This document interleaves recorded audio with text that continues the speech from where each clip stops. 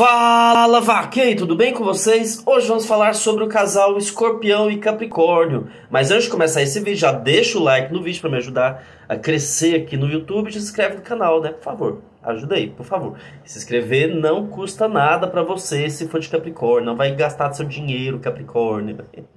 E vai me ajudar bastante. Um casal cheio de amor e que super pode dar certo quando eles resolvem se entregar e confiar um no outro. E isso raramente acontece entre Escorpião e Capricórnio. Para mim, 90% de compatibilidade entre Escorpião e Capricórnio. São dois signos desconfiados e mais fechados. Escorpião intenso, intenso Escorpião, até se joga mais no começo. Mas este se jogar de Escorpião é só para dar uma pimentada na relação, naquele começo de relação, já que no fundo ele ainda não confia no no parceiro Caprica. Capricórnio tem um time diferente. Ele precisa entender todo o parceiro, ver toda a segurança que o parceiro vai entregar para ele, para depois se jogar na relação. Este jogo de desconfiança normalmente faz este casal não ir muito para frente, né? Eles começam, vê que tem uma química legal no começo, depois cada um vai para um canto, porque não, não confiam no outro, né? Precisa de muita paciência e normalmente estes signos não têm muita paciência não. São dois signos que prezam a segurança, que valorizam o sentimento, entende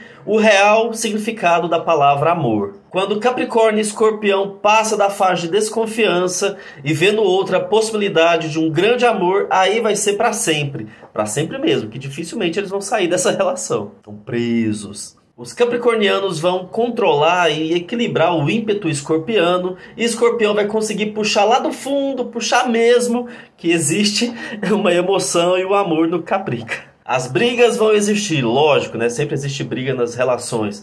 E principalmente porque escorpião tá nesse relacionamento, escorpião precisa extravasar sua energia de alguma maneira e às vezes extravasa brigando. Só que os discretos capricas saberão controlar toda essa raiva escorpiana para não brigar fora de casa, né? Brigar só dentro de casa entre quatro paredes. As brigas vão existir, mas entre quatro paredes, só dentro de casa, com a porta fechada, assim como o sexo também. Tudo neste casal vai ser entre quatro paredes, né? Dentro de casa, tudo fechado, bem discreto, ninguém vai ficar sabendo.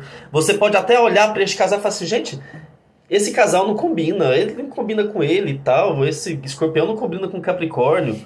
Você pode até achar isso, pode até achar que eles não têm muita química, mas eles saberão que a química que eles têm é intensa e a combinação que eles têm vai fazer explodir muito. Mas só eles saberão disso e ninguém vai ficar sabendo, eles não fazem questão de falar isso para ninguém. Para mim, este casal tem tudo para ser só o sucesso, só saberem ter a paciência, né, que não tem muito, de entender o momento um do outro e se jogar de forma equilibrada na relação. Escorpiano, o escorpiano tem que se jogar um pouco menos e o caprica tem que se jogar um pouco mais.